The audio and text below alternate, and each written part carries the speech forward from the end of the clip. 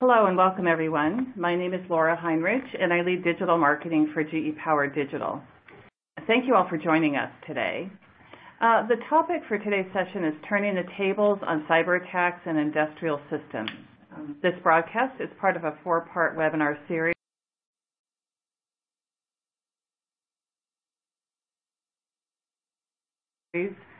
on the topic of digital across the electricity value network. Now, many of you attended our last session where we gave a deep dive on the use of analytics for asset reliability. I wanted to let you know a recording of that session is now available on the same registration page for this webinar. And by the way, a recording of this session will be posted there as well. We will be taking questions towards the end of the session, but feel free to type your question in the Q&A box at any time during the broadcast. Now let me introduce our speakers for today. We are so pleased to have three experts in the science of combating cyber attacks, specifically in the power industry. Uh, first, we'll hear from Mike Assante, the Director of Critical Infrastructure and Curriculum Lead for the SANS Institute. Mike is also the Director of Critical Infrastructure and co-founder of NexDefense, an ICS security company. He served as Vice President and CSO of NERC, where he oversaw industry-wide implementation of cybersecurity standards. Next, we'll hear from Rob Gary, Executive Chief Engineer, Controls and Product Cybersecurity here at GE Power. Uh, Rob has worked in control systems engineering since joining GE in 1991. From his early days leading the development of advanced controls for gas turbine low emission systems to currently where his focus is on cyber and the GE Power engineering organization, Rob's expertise lies in control platform development, field commissioning, unit operability, product cyber, and advanced applications for the power industry. Following Rob, we'll hear from another Rob, Rob Putman, the GE Power Digital Cyber Commercial Lead. Now, Rob Putman has over 15 years experience ranging from launching new security products at companies like HP to instituting secure SDLC practices at companies such as SuccessFactors and Yahoo. And with that, I'm gonna turn it over to you, Mike, to begin. Well, thank you very much, Laura. I appreciate it, and I'm very glad to be here. Uh, today, I would like to talk to everybody about an exciting time. That's the age of automation and analytics.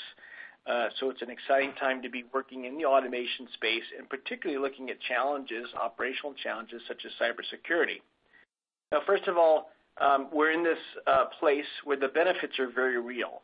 When you start adding the idea that every business is a data-driven business, and you use that model, very quickly by the implementation of technology, you can see 12%-20% productivity gains in in the processes you already operate and own.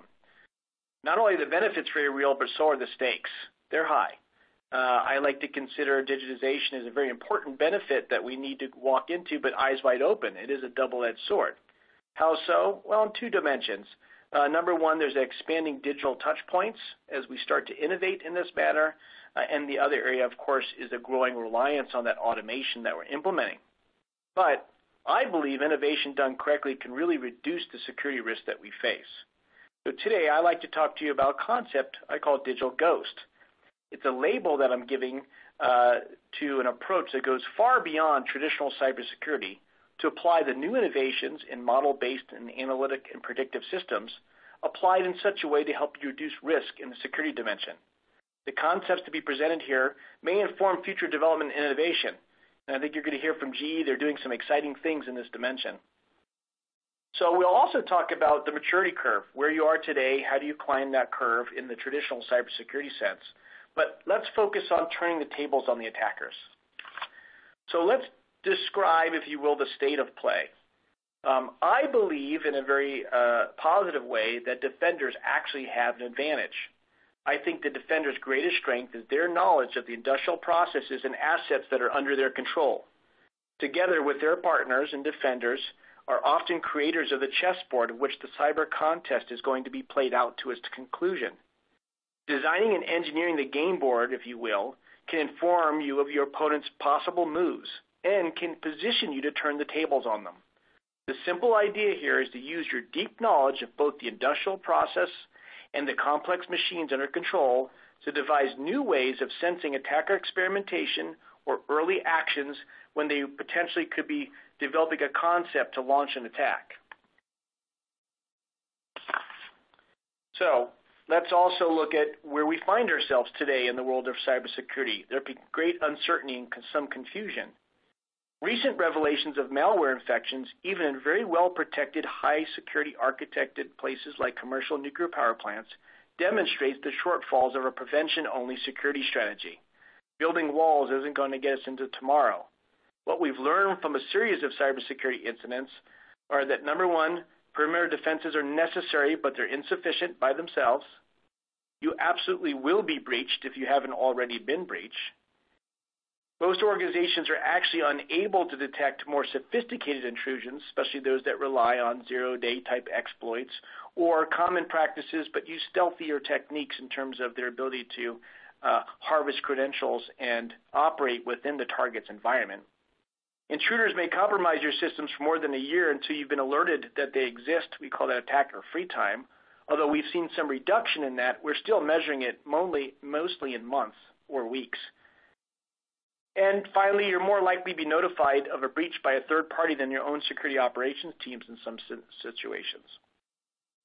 So if you think about these, this is, seems extremely challenging of what we're learning from the type of breaches that we've been studying in the past couple of years. Now, target attacks, which are very different than unstructured non-target attacks coming from the internet, have very real consequences associated with them, and they've been on the rise in energy infrastructures around the globe. In 2015, it brought with us a very public cyber campaign that resulted in power disruptions and critical attacks uh, that crippled and used and impaired supervisory control and data acquisition systems on three different distribution utilities within Ukraine. One year later, same time frame in December of 2016, a specific cyber attack caused a successful outage at the transmission level and transmission level substation within Ukraine as well. The attackers are proved to be adept at using power system automation to their advantage before launching a series of destructive attacks designed to deny the use of these important tools in your ability to restore the system or restore power. These attacks illustrate the danger of allowing attackers both access and intimate knowledge of your industrial processes for too long. The more time they have to learn your systems and learn about what they possibly could do to operate against your systems, the greater the risk to the enterprise or organization operating those systems. What I've learned from attackers by studying their incidents uh, and looking at their trade, trade craft and skills is that a growing number of these cyber attacks are actually honing their skills and taking hard-fought lessons learned in execution of attacks and applying those to become very good at A, intruding upon our systems and burrowing very deep enough to exercise what I call a freedom of movement and freedom of action. They get themselves into a position where they can move into different segments and networks, and they have a freedom of action of what they're able to do. Today's attackers have demonstrated that they are goal-oriented, number one. They start with the why. What am I here for? They expend intellectual energy to develop a plan. They exercise patience and adapt to challenges that they encounter in the target system and they tend to actually test their capabilities to successfully include, uh, uh, and then and they take pride in executing, and executing well. These habits, combined with the luxury of choosing their targets, the place of attack, and the time of attack, have resulted in many cybersecurity experts declaring that attackers have the superior advantage over defenders. This is certainly true if the target is ill-prepared and does not anticipate or mitigate these types of attacks. But I have a more optimistic outlook. First, let's talk about a model that we've developed. Now, the first part of this model is actually a model developed by the Lockheed Martin organization called the Cyber Kill Chain. The stage one model applies to a normal IT environment. Attackers go through a certain sequence of steps and have to apply capabilities and skills during those steps to be successful. It begins with planning, preparation, developing a concept to conduct a cyber intrusion, delivering that capability, if they achieve success, they'll install software, they'll use native tools on boxes, they'll modify things in order to position themselves to be able to move further. They will set up a command and control architecture so they can manage the interactions between themselves and their target environments. And they'll sustain their attack with follow up with the ability to act In many cases, this model grew off of a lot of espionage-focused attacks where information and data was the objective of the attacker to be stolen. This model works very well to inform you of how to structure your defenses, how to increase your capabilities to detect and respond in what you're looking for. However, in industrial environments, it's necessary to expand this model, and this is at SANS what we call the ICS kill chain.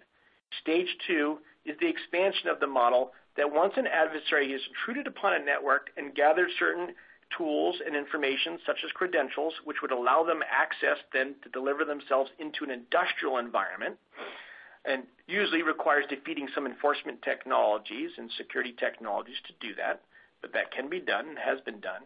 The idea is they have to go through additional steps in order to uh, have outcomes that we're seeing. Things like develop a concept to act or attack that environment. They'd have to tune that concept to get it right. In many cases, because it's an industrial environment and process, they'll have to validate or verify or test that they can actually change set points, for example, to manipulate a process or have an effect. Then they have to position their ICS attack by delivering it, usually installing software or changing set points, like modifying configurations or data, and executing the attack. The execution could come with three major steps typically we find. Something might enable the attack, meaning putting the process in a condition which allows consequences they're trying to achieve to occur. They initiate the actual attack with the specific modification of a set point, for example, or data, or injecting a command. And finally, sometimes because it takes time to play out in physics in the real world, they have to support that attack by either spoofing or fooling the DCS, for example, the control system in place, or the operators in the control room with, with uh, either replaying known good data while the process is being manipulated. This is what we call an exaggerated kill chain. In that exaggerated kill chain, there's opportunities by the defenders in order to be able to identify, detect, and disrupt the attacker. So let's talk about flipping the coin on primacy. A defensible environment with well-trained defenders can make a good contest of a challenge against attackers. I agree with that 100%. But as our reliance on digital technology grows, it comes with the imperative that defenders not only catch up with attackers, but have the ability to leap ahead of them to safeguard the value that they're creating with all this new technology. Think of this as an opportunity to maximize the advantage of deep process and system and machine knowledge and harness it to provide a labyrinth of unobservable sensors able to detect suspicious changes in the environment, leveraging the intelligence of the system can drastically increase the difficulty for the attacker of planning and executing an impactful attack. So by using cognitive learning engines or precise machine models, we can harness already existing instrument-driven measures to identify attempts to manipulate changes, make minute small changes based on that kill chain we talked about, these techniques are already proving to be successful in advanced prognostic applications. We're talking about using that capability to think about security implications. Here's the premise. When we leverage that intelligence of a system, we can drastically increase the difficulty of planning and executing attack, as we discussed. The digital ghost concept, using measurements to detect the process and machine changes, would look for sensing opportunities that go beyond traditional networks or host-based security monitoring. So we're going beyond cyber here. The process, its instruments, actuators, and greater ICS could be analyzed by system designers and owners working with the original equipment manufacturers for particular machines and implementations to determine what sensing data defenders can use to identify attacker experimentation or actual attempts to change set points and provide dangerous commands out of sequence, for an example. Let me give you a few real-world examples of how to do this, but first, I just want to reiterate in the cybersecurity world, we're good at getting information from what I call cybersecurity signatures, like endpoint security systems or network-based IDS, and looking at sometimes ICS networks and applications or host behaviors. This is the domain that we've operated in to detect suspicious activity. One could argue we're maybe not going far enough to monitor ICS networks and network traffic, but this is the area that we've been confined our thinking to. What I'm suggesting is we expand to looking at process behavior itself, what the instruments can tell us of what's occurring, and even measure and understand physical outcomes to changes in the process. By expanding up, just like safety, we'll have a more holistic view of what's happening in the industrial environment. So, digital ghost as a concept would have several attributes. By using this data, it comes with the industrial process, tied directly to machines under control, a defender can add that new dimension of achieving what I'll call a more holistic defense in depth. It's a powerful feat to have a detection system that lies out of the reach or just out of the attacker's real-time perception. Unlike an inline security solution that can be seen by an attacker, or sometimes kind of like passive taps that we use on the network, which gives the ability to collect data and leaves the attacker wondering whether their actions are being observed or not. In this case, it's coming from the instruments. There are some architecture options where instruments can dual report measurements to provide a method for sensing and analyzing data out of band from the targeted ICS. Our current IT-centric cyber detection strategy rely only on host or network provided data to provide security decision making. We use filters and rules and heuristic determinations. A digital ghost concept would take data from the process itself and the machines under control to determine whether malicious operators or programming has been identified to try to modify the process or have an effect. The attributes would include it would be stealthy, it would be proactive since it's actually actively looking at suspect conditions, it have a very strong detective capability to identify changes, and it could be adaptive in terms of the information or the logic that you apply to the changes being observed meaning you could actually heal or take uh, the correct uh, corrective actions to either put a machine back into a safety envelope or to make a good decision about shutting down a process that might be being manipulated. So let me give you two quick examples. One would be an overwatch system. In this, in this case, a cognitive engine or an implementation of a more direct rule-based filter would allow an overwatch system that's monitoring something like system state to detect malicious operations of several remotely controlled circuit breakers over a short period of time. You see, power system operations other than rem remedial action schemes or special protection schemes rarely require opening circuit breakers rapidly across multiple substations. We just don't do that. An Overwatch system could be used in the case of the December 23, 2015 Ukraine distribution attacks, uh, where the attackers hijacked the SCADA system and began to remotely operate circuit breakers to cause power disruptions. They did so in such a, a sequence and in such large numbers that any type of an overwatch system could potentially suggest, as they're getting a feedback loop from the front end processor, that either A, we should nullify all these commands and break the chain, or B, maybe sandbox the commands and ask the supervisors for review to suggest you really want to do this? Uh, because it doesn't match the operating profile of a SCADA DMS system.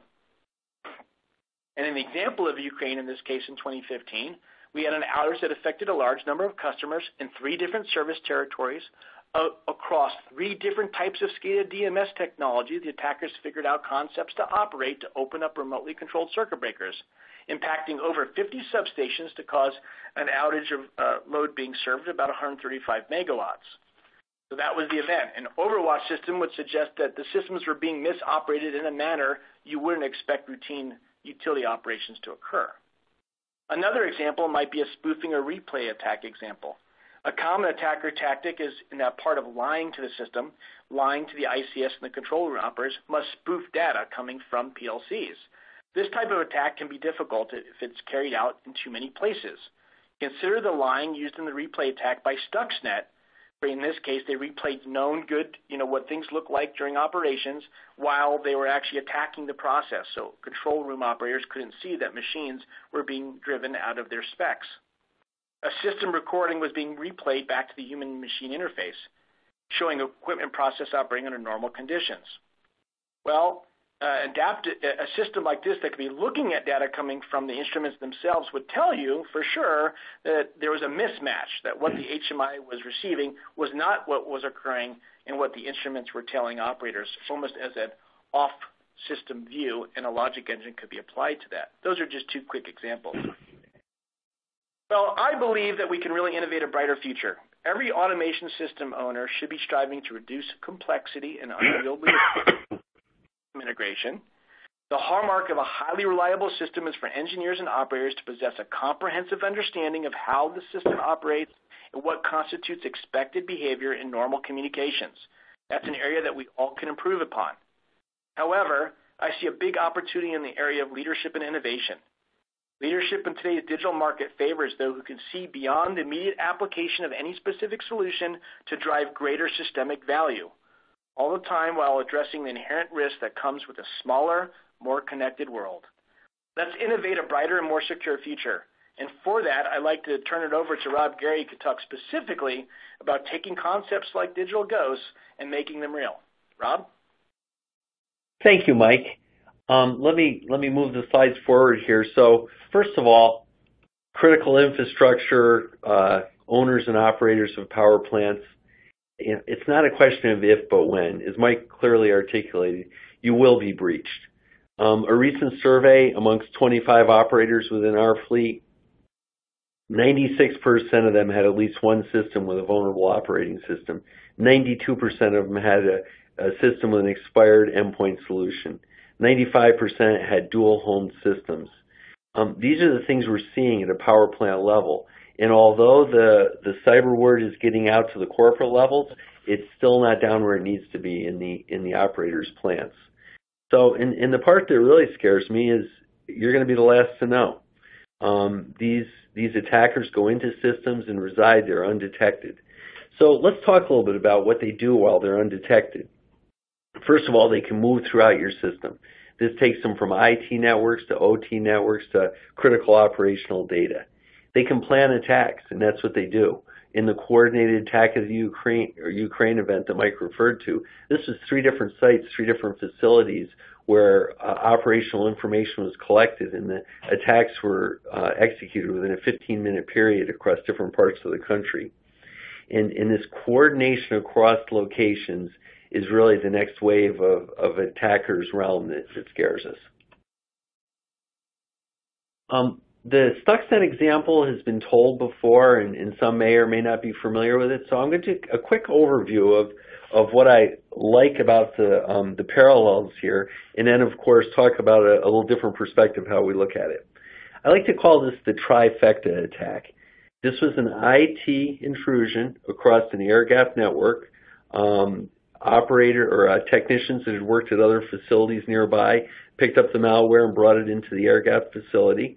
The second part was it was an OT expertise. They got into the uh, PLC or industrial control system. And then the third level was domain expertise.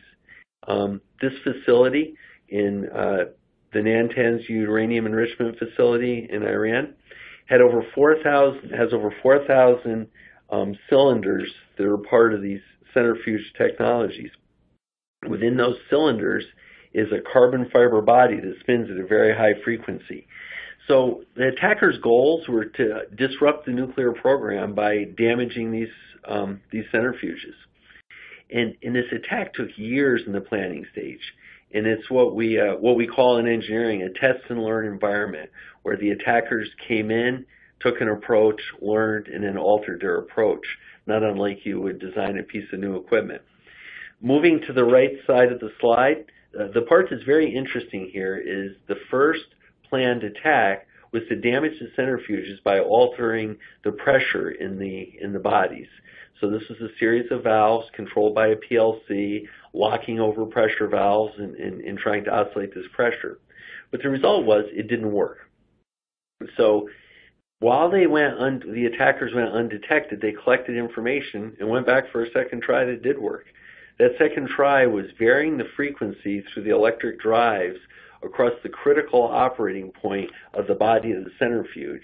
And then not only finding the critical speed, but then locking it. And on that locked rotor to critical speed, it would create cracks that would lead to later failure. Um, this went on for an extended period of time without root cause, thought to be infant mortality or just other failures of the centrifuge, until it was turned over that it was a was a hacking event or um, a cyber activity. And, and just further on this, uh, the going undetected was the, the playback mode of, of capturing past events and playing them back on the operator's screen. So very difficult to detect. But I like the way Mike words it. We have a defender's advantage when we think about the physics, when we think about the asset. Um, walking the slide from the left, um, operators, GE has a fleet of gas turbines that represents thousands of megawatts thousands of gigawatts, excuse me, and these are under monitoring and diagnostic view. So we look at the fleet. We have a lot of experience at looking at anomalies in, in vibration, in parts life, in wear. We've been doing this for a long time. So when we look from the left, it's the scale. Now let's go to the right side of the slide and, and look the other way. We have a lot of design expertise. There's uh, thousands of man hours in, in research and development that goes into developing the physics of how these turbines work. And that's the expertise. So when you bring these two elements together um, by understanding your physical asset, understanding what you do, you clearly have the defender's advantage. It's extremely difficult to model, duplicate, um, create playback modes, or even find the failure modes that couldn't be detected when you combine these two capabilities. So let's start at what I showed on the right side of the slide. Uh, a gas turbine represents 250 megawatts today, maybe more in some of the larger units, uh, less in the in the peakers. It's enough electricity for over a quarter of a million homes. This is a 170-ton rotor spinning at 3,600 or 3,000 RPMs in the middle of the machine. This is a lot of entrained mass, and, and it's a, a very um, physics-based design. So moving to the right-hand side of the slide, um, this is some of the, the design that goes into it. A combustor is a, a simple device where air and fuel mix, burn, and release heat. But the, the design that goes into that, the, the magic, the intellectual property, and the ability to mix these ratios correctly to get low emissions and high performance is a, it's an art form that, uh, that a lot of technology is based on. Um, let's move to the blade. Um, this blade is could sit on your coffee table, but it represents, just for reference, six, 700 horsepower of energy into this unit. And there's, you know, hundreds of these blades around the four stages of the turbine. Again, a lot of science, a lot of understanding what's happening there. And finally, um, as I mentioned, a, a, a, turb, a gas turbine converts fuel and air into uh, electrical energy. Well, the air side of this is the compressor. No less a design challenge, no less modeling, or no less physics behind it. We combine that with the hundreds of sensors of the turbine that are shown on the left side of this that measure temperatures, measure pressures, measure velocities, and we have a very complex system that's understood and capable of, of demonstrating the, the type of behavior and the type of modeling we want to see. So now let's go to the innovation. This is where the physics meets the asset. This is the defender's advantage. Um, the top the top four boxes here are a very simplified view of what what some call the um, the closed loop control or the Purdue model of, of control systems. Um, we'll walk it from the left. The turbine or asset um, receives commands that come back around from the right. Um, the operability of the turbine is picked up on air sensors, fuel sensors, pressure sensors, as we discussed in the previous slide. Um, this is fed into an industrial controller that runs on algorithms that, that then issue commands to actuators for the fuel and air to the unit. It seems simple here, but the complexity of how this is put together is a, is a well a well-tuned orchestra. Moving to my second box on the on the lower left, um, I refer to this as the um, the source of truth, and we have this today. This is model-based control. Model-based control is the evolution over the last 10 to 15 years of generic lookup tables that match desired, desired operation to physics-based tables that are multidimensional, truly articulate the physics of the machine, and truly run to those, those boundaries or parameters. So now we take that and we contain that. That becomes our source of truth on what our machines should be doing. The innovation we're discussing today is the next box, as I refer to is the math engine. Anyone that's worked in a power plant, critical infrastructure area realizes that with the digital age, more alarms is not what you need. What you need is action and clarity on problems you may or may not have. And, and we're, we're in the midst of, of determining with this box what are the right things to, to alarm, what are the ones not to, with some very complex algorithms in there for what I'm calling detection, not uh, not alarming. So detection and alerting is where we're going with this. Um, the slide I'm showing now is a, a, simple threat simulation of, of one of our threat vectors. This is a simulated kill chain example, as Mike showed in the previous one, of how we're working to get our head around what's real, what's not, and how we assimilate the data. On the left side is an actual simulation run on one of our controllers where we alter parameters in the controller and look for signatures that is happening.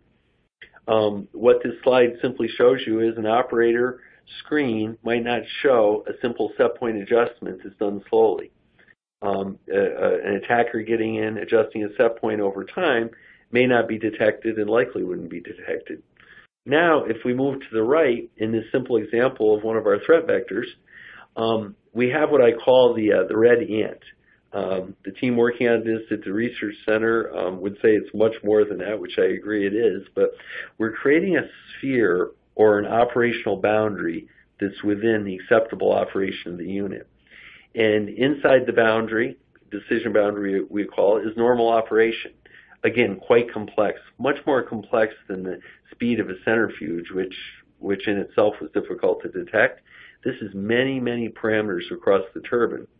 And when you creep outside this threat space, the hypothesis we're challenging today as we as we work with these models is how many outside the box should you be concerned about? Is one a bad sensor? Is three multiple bad sensors? Is a dozen the right amount? Well, the answer is it's not that quantitative, and we need the logistics and the thinking that goes around our expertise to do that. Making it very real for us but very challenging for an attacker to reverse engineer, um, spoof, or create a playback scenario on. So my final slide is, is the, the model of how we make this real. Um, look in the upper left box where I show the physical models. This is where we harbor what we're referring to as the digital ghost. We harbor this expertise, we harbor the models there in the things that we already have.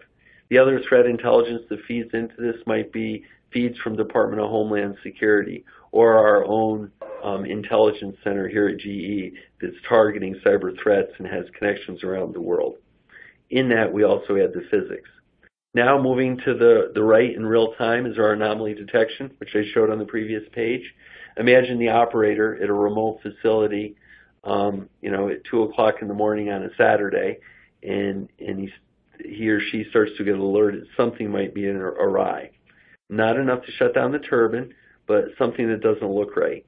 This drives us to a, state of heightened alert.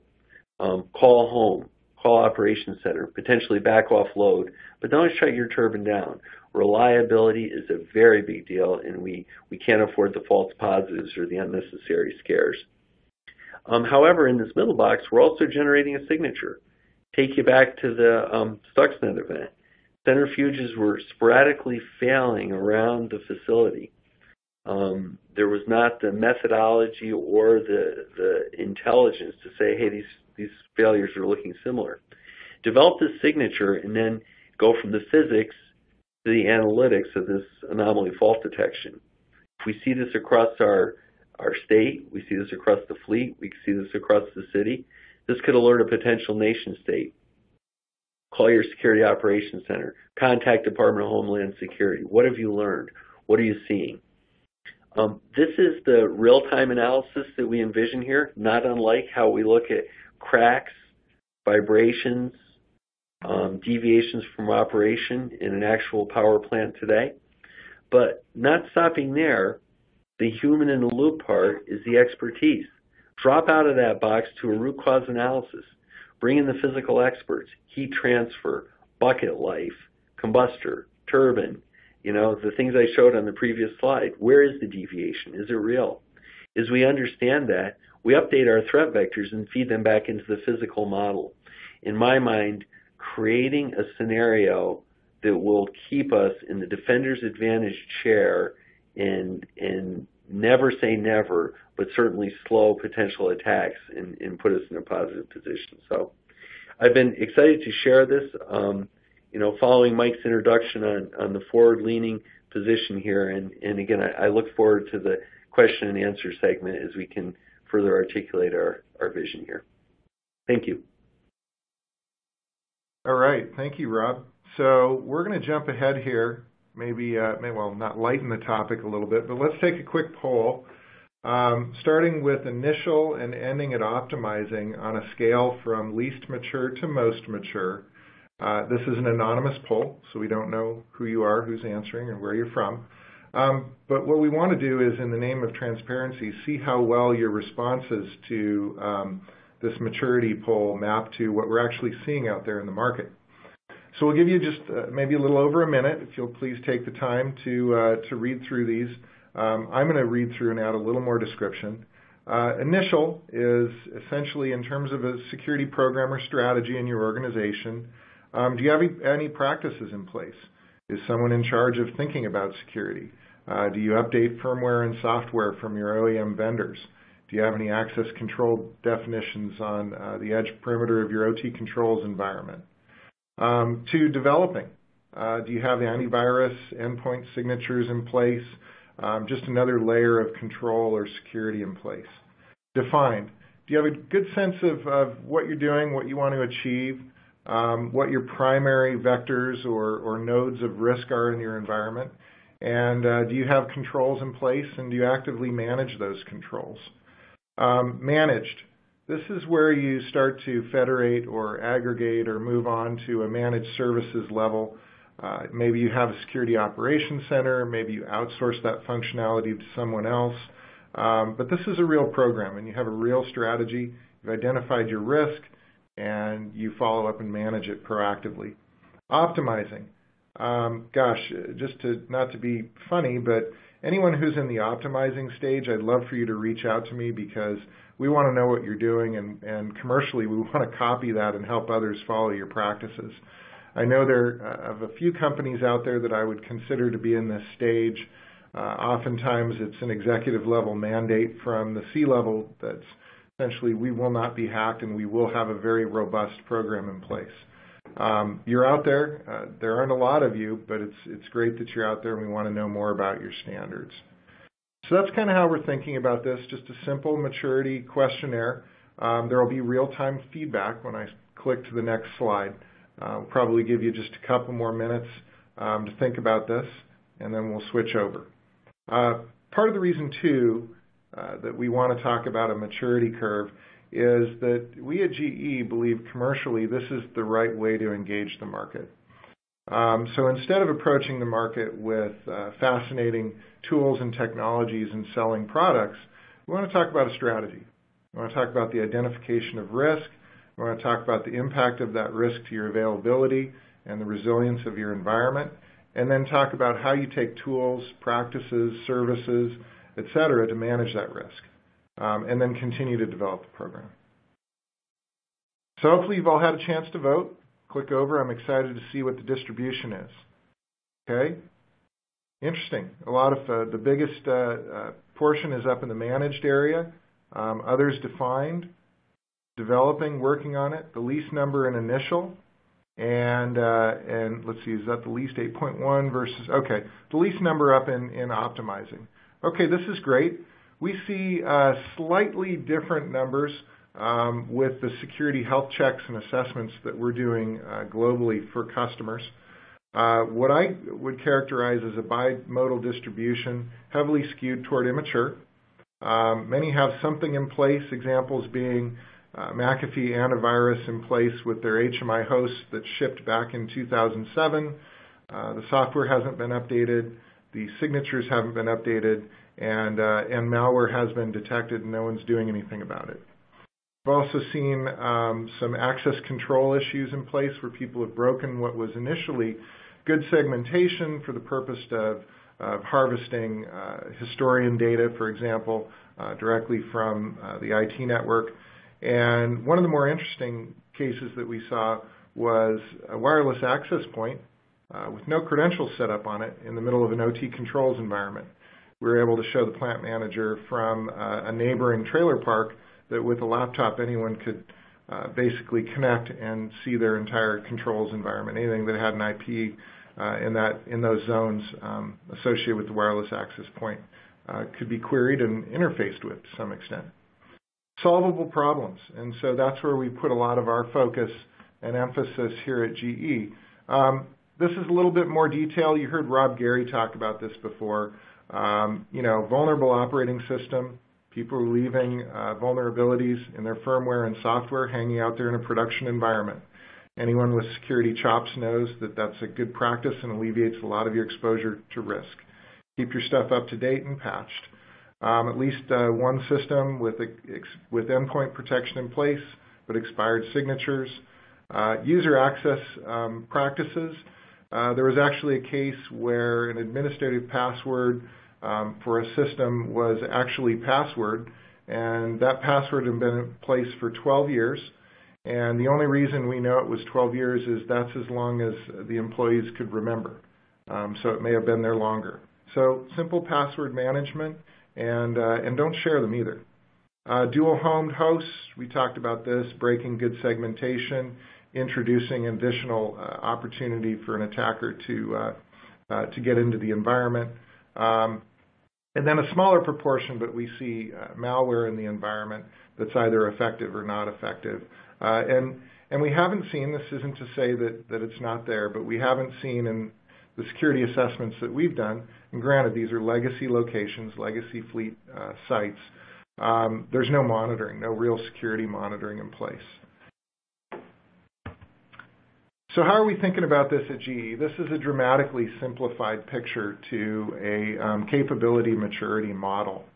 Uh, we tend to uh, gravitate back to a critical security controls approach from the Center for Inter Internet Security, in part because it, kind of describes a path forward for most customers that are at an early stage of maturity and gives some real concrete uh, things to solve. Things such as inventorying devices, inventorying software, patch management, keeping things up to date, boundary controls, et cetera, and, and really gets to what we think is an accessibility problem in the market. Um, oftentimes, cybersecurity is, is seen as this complicated thing. It's hard to get your head around, and unfortunately, that's a call to inaction. It's a call to not start on something that's really hard and complicated. Whereas, you know, some experts, for example, with the Center for Internet Security, would argue if you were to apply five plus basic controls, you could reasonably um, you could reasonably uh, uh, mitigate upwards of 80 to 85 percent of your exposure to risk. The the point being this: take steps, take basic steps. It's not an all or nothing, but get going on a program. And then the conversation for those in, in sort of the mid-level to higher level is what are the problems you haven't solved yet? And that's where I, as a product manager, and the thinking around digital ghost and this concept of cyber physical analytics, the ability to identify with certainty um, malicious behavior being directed at your asset, and then ultimately the ability for the control system to heal itself, to do what we call accommodation and set itself back or override uh, the malicious parameters that are causing damage to the asset.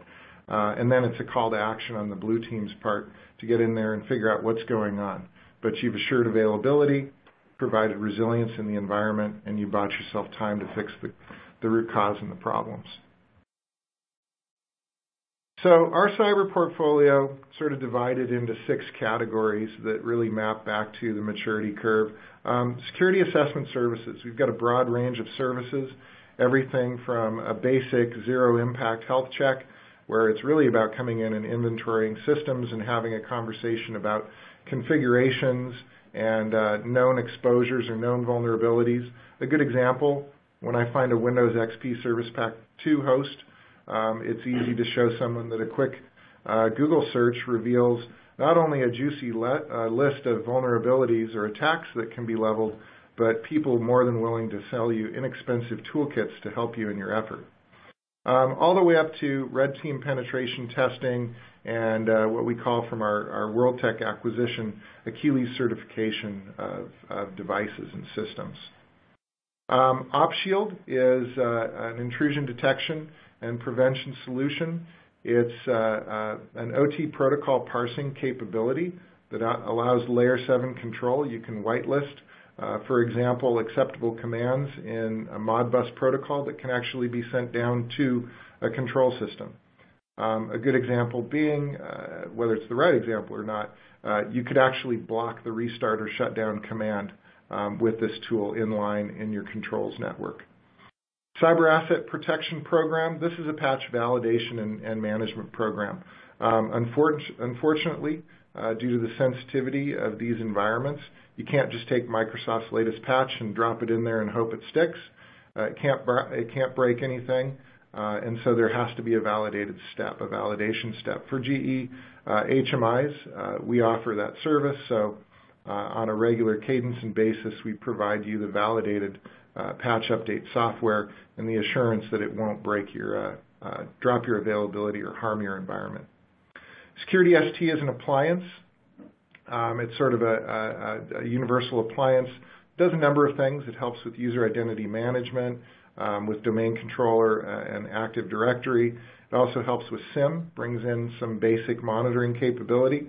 Someone log into your uh, Edge router and make policy changes as an administrator at 1 a.m. in the morning. You might want to know about that. Um, it also automates the patch, uh, patch management capability so you can distribute uh, while the plant is up and running and hot HMI updates. Um, and gets into backup and recovery. Uh, I often think of, uh, recovering from uh, malware or a, um, malware attack uh, a ransomware attack where someone's asking you for a million dollars to return control of your dispatched uh, uh, power plant. Well, uh, you can pay that, or you can go back to a known good restore point and uh, and thank them very much for their uh, for showing you how they hacked your environment or got in. Um, training can't underestimate this. You know, you think of the three pillars in security. There's network, applications, and then people. People are often the weakest link. And so we offer training that, that goes from the basics all the way up to, you know, how to configure and manage uh, effective perimeter defenses, um, effectively deploy IDS, IPS solutions, and manage these solutions up to developing your own SOC. Um, but also, most important, training people not to open untrusted attachments, follow untrusted links, um, bring devices into environments that should be quarantined, et cetera, et cetera. Just some really good thinking and getting your people's heads in the right place uh, is the right thing to do. Um, I'll, I'll confess here at GE, we actually have an internal phishing campaign that I've fallen victim to. Um, but the great thing is, is this, it's raised awareness. Something as simple as that is an internal uh, tool that raises the awareness of your employees. They open a, an attachment, follow a link, and get a follow-on email that says, hey, you've just been phished. Please pay attention. Um, since getting caught by that, which is embarrassing, I haven't been caught again. So that's great. Problem, uh, you know, I've been educated. Um, and then managed security services. We see this as, as being an emerging capability for GE. Uh, we have some very large global customers asking us to come in and, think about it, what it might be like to uh, manage their IT and OT combined security operations center. Um, they feel like uh, GE has that capability. It's something we're entertaining. Um, in its most basic form right now, we have the ability to take a number of sources, log event data, and have modeled a number of threat cases and can remotely monitor and, and notify you of any intrusions in your environment. So what's next? Where are we going? Um, two pieces of collateral uh, that really, uh, you know, gets to the core of what we're trying to do. If you're early to mid stage, I would encourage you or uh, you know offer you uh, an assessment. Um, we'll have an analyst come on site. It's lightweight. We just want to identify the areas uh, of exposure to security risk and um, show you not not just shamelessly show you the tools and things that we can sell you, but show you the controls that you can put in place um, to start or continue to develop your security program. That's the end goal. Um, also, we have some alignment with uh, findings from Department of Homeland Security ICS CERT, uh, where in 2015 there were apparently 296 incidents they responded to. And uh, much of it was pretty fundamental stuff. And so they came out, and there's a report um, that's linked in our collateral here uh, that describes seven strategies that can be used to mitigate what they say would have been 98% of, of the, um, the incidents. They also say that the other 2% could have been handled with some really fundamental monitoring. You know, did someone walk in the front door? Did someone do something unexpected in this environment? Uh, the reason we, of course, gravitate to that is is we want to make the concept accessible. We go back to that idea of accessibility and the fact that um, the call to action is start doing some fundamental things, and they can have very real and significant impact on the ability of an attackers uh, to, to compromise or get in your environment and pull off whatever their agenda is. Um, and underscores the fact that attackers are very dependent upon us making mistakes, upon us leaving these, these vulnerabilities, uh, losing control of credentials, et cetera, making it easy for them, in other words. So that's our thinking. That's the commercial side of things.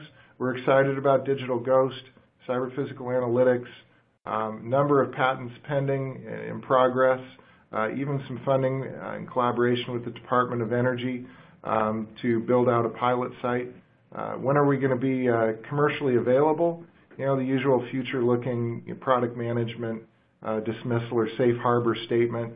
Um, you can look to us to, to be making announcements probably 2018 timeframe. Um, coming to a security offer, offering soon near you, in other words. But hopefully you're as excited about this as, as we are. I think this is the kind of innovation and connection back to just core GE talent and en engineering that um, you know you should expect from us. So with that said, let's jump over to Q&A. Very excited to see how people are responding and, and reacting. Great. Sounds good, Rod. Thank you. Um, so there's a lot of questions about um, the digital ghosts and this idea of using data models and cyber detection. Uh, let me just jump in here. Someone asks, um, how does digital ghosts differ from other anomaly-based detection programs for cyber protection? I'm not sure which of you want to jump in on that. Um, Mike, let me let me start with that, and I'm sure there could be some some good follow up. Um, the the simple answer is physics, right? There's a there's a lot of of opportunity out there to do this with analytics. Um, picture you bring um, you know you bring Watson from IBM into your power plant and let him sit there for a year. You can learn the behaviors. There's machine learning, but the physics is the is the true the true leap there. Yeah, you know, Rob, I would just add on to that is, you know, I often think of baseline anomaly detection, right? This isn't baseline anomaly detection. This is a clearly defined model and then an algorithm or math engine that takes outliers and says with a high degree of determination, 99% plus in many cases, that this is a specific effort to manipulate a portion of the physics or the physical asset, uh, degrading its lifespan, for example. And, and that's, that's the big difference there, right? It's not, oops, there's something strange here. It doesn't quite look like what we normally see. It's, there are a combination of strange events that when you put them all together and analyze them, someone's doing something malicious to this asset. Yeah, physics so, and physics and intelligence. So maybe this is a question for Mike, and it goes to sort of what is the level of effort required to develop these kinds of models for the source of truth and detection algorithms? Ooh, I actually, um, so it depends on the process uh, that's uh, that's involved, the target uh, uh, that you're trying to develop, if you will, whether that model exists at a certain level, uh, whether the math engine is something that can be put together very easily. Um, what we do find is when I talked about a multi-layered approach, I gave a few examples which allow you to kind of work with your OEM right away. Examples like in prognostic solutions from a maintenance perspective or a system health perspective, we've taken instrument data directly, some of it that would have fed or do, does feed the ICS, and we've used that to feed a different analytic engine, right? We've looked at that data over time and have made observations and good decisions based on that. So just like the idea of that spoofing example I provided, you could actually do it with little effort by pulling instrument data off core to the DCS, for example, and having that data looked at as a verification or confirmation of system state relative to what the DCS is telling you is one way to defeat or add a tremendous amount of complexity to spoofing. You'd have to spoof deeper in the system, for example, all the way down to maybe before the PLC. That adds a level of complexity that makes attacker's job very hard. Um, that wouldn't take a whole lot. When you get into places with very complex machines like the turbines that Rob was talking about, you're into a place where if a well-validated model exists, then it's about building that math engine. So I'd like to turn over to Rob maybe to add to supplement the, the response here. Yeah, and I, I it, that's that's perfect, Mike. So the the model I showed was best case. You know, our examples. we've worked on those for over ten years, but I could think of uh, a um, LNG transfer station where they're where they're loading ships with LNG, driving them through electric drives. Right. That's a different type of model, but it's still a very plausible concept. And that model may reside in the cloud with with different levels of protection on it because not because it's less sophisticated, but it's it's not running real time. Um, so also your your scan rates. I mean, the models I showed were running at millisecond frame rate. Um, now let's think about a wind turbine for another example. Wind turbines just spin slower. Again, not less sophisticated. Um, that model may reside upstream of the SCADA system for a wind farm. So it's your it's the order level of your model, first order, second order, in what your asset requires. Perfect. So along the same lines, actually, someone's asking a question about hydro. So the ability to model hydro turbines and those uh, risks associated with that technology. So assume it's a similar response. I guess that would be for Rob G. Yeah, I would say it's a similar response. And in there, you're you're modeling water flow. I I, I worked on hydro eight years ago, so I'm not right up to speed, but I think that's more of a first order model. But but think of the defender's advantage again. The defender's advantage is your water flows, your gate, um, even even the type of hydro turbine you're using. I mean, you know the physics behind that. Uh, never say never, but it's probably not the first thing an attacker is going to know from from some other region of the world what type of uh, what type of turbine wheel you're using. You know, that's your first order right there and I, I'm, I guarantee it would slow them down. Got it. Good. Thank you. Um, someone asks, many of our plants are running legacy software and hardware due to cost. Is there an opportunity to protect legacy fleet, and are there cost models uh, for security for doing so?